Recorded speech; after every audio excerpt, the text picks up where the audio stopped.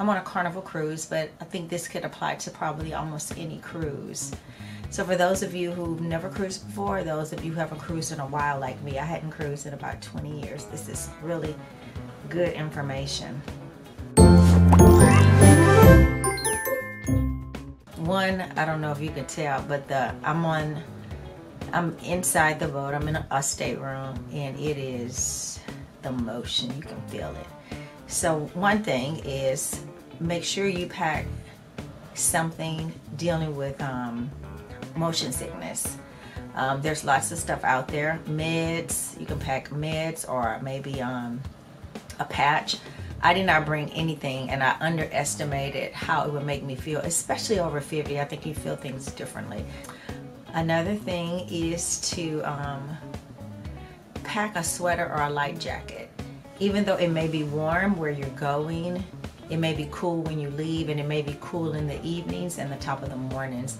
Sometimes I, I get cold even when we go to dinner you want to have, wow, just a huge wave just hit up. I should just tell. Don't forget about gratuity. On lots of cruises now, it's mandatory. They already tell you to uh, to account for, it like this is a four day cruise, so anywhere from 50 to $75 total for the whole cruise is gratuity for your steward, for your wait staff, and I think there's like a team of people that they automatically um, want you to tip. So on some cruises, the one I'm on especially, it is mandatory. So you have like an account when you come onto the cruise. You can put down a credit card before you come, which is another good idea. And then you can keep track of it. So if you have exceptionally bad service, which we did not, um, you can say, hey, I don't want to tip the mandatory or whatever it is that you are strongly suggesting by putting on my credit card. So plan for gratuity. Um, pack sun stuff, hats, sunglasses, because of course the locals are going to try to sell you sunglasses very overpriced and sunblock. Even people of color with lots of melanin like me or melanated as people are saying now. You still need sunblock so make sure you pack that.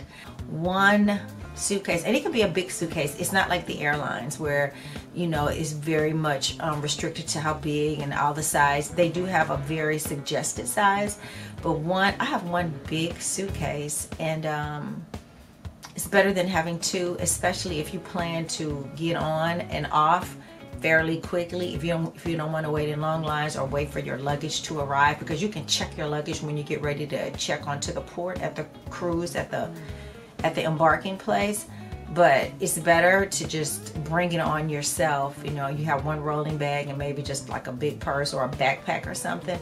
To me that's better. Bring cash especially if you are docking someplace where you know you're going to buy a lot of souvenirs or go into the locale and do stuff. You want to have cash. You don't want to bring your credit card. One for safety um, I heard that here where we docked at in Mexico that you don't want to use your credit card, that people find a lot of erroneous charges afterwards. But also it's easier to haggle and to buy when you have cash and get small bills. That's another tip.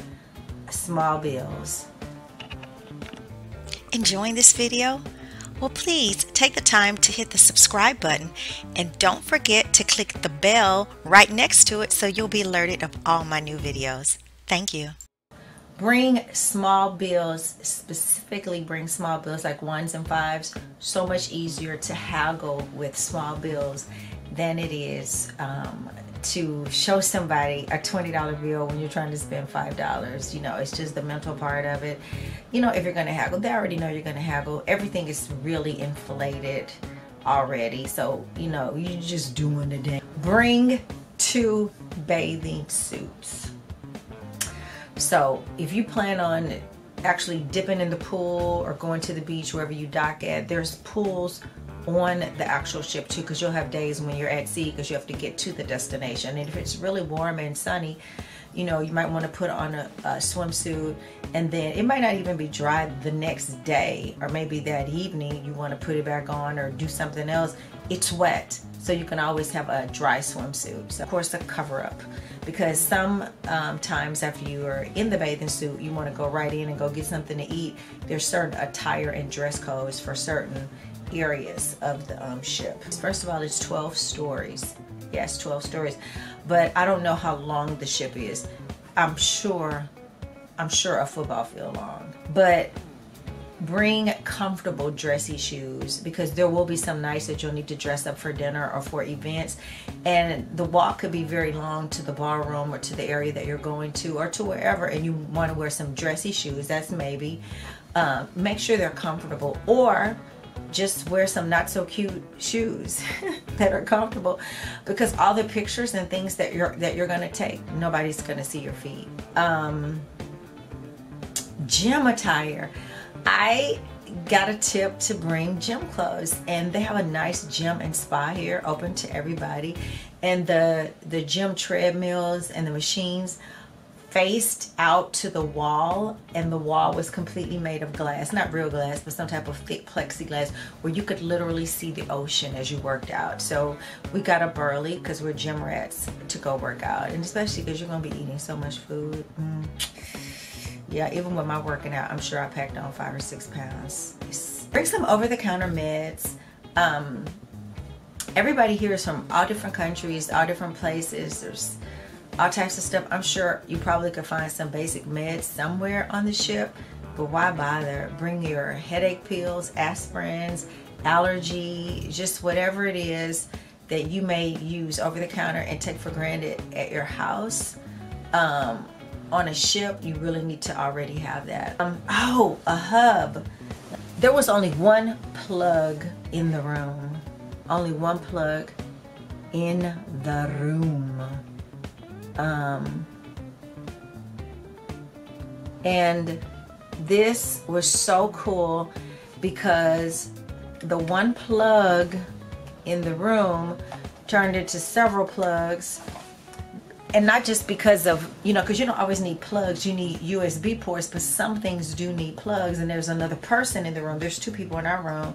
So both of us had things that needed plug and that needed usbs so i bought a usb hub and then this for things that need a plug too like the battery to my camera is not a usb chargeable thing. So anyway just bring hubs and you know multi adapters for um, charging up all your devices, your phones, your watch, your, and you might want to put in some earplugs just to go to sleep. It's very disconcerting here. Up again just constantly. And we're on the bottom, so we're hearing it. So the higher you go, I heard it, it's not so bad. But earplugs, nice. Little something you can pack. Um, oh, check your phone and data plan. When you're on these international waters, um, hey, I do not know what plan works out here, but I know roaming is a, mm, it's a, it's a mother. Yeah, you want to check your plan, and then when you get to where you're going, like um, most of our plans had had a Mexico or some other Canadian plan already built in, but getting there, it might take you a day or so. Check and see if you have a plan, and if not, buy a special plan or just plan to just be unavailable because that right there you want to check before you get on the cruise what type of data plan you have and be prepared to go in airplane mode which brings me to another thing. Most I didn't know this but most cruise lines have apps. Like Carnival Cruise has their own app and their own intranet which is free. So you can um there you go. Carnival Cruise has its own app and they have what I call an intranet. So therefore you can see what's going on all the time. You can look at menus, you can look at menus, you can you can see activities and things that are that are going on. You can check your account to see, you know, because everything is sign and sail. They're not taking on any cash on here. You can look at menus, you can see what's good, what you're going to have for dinner, just all of that. You can see all the different things that are going on, excursions, daily happenings on the ship, off the ship. Um, and that brings me to something else that's a little bit TMI, but hunty, you need to do it. Bring something, and I'm not endorsing Poo-Pourri, um, you know, or whatever. This is not an endorsement, but Poo-Pourri or some type of bathroom air freshener when you got two people in a tiny little room like this and the bathroom is akin to a porta potty. Yes it is tiny and small like an airplane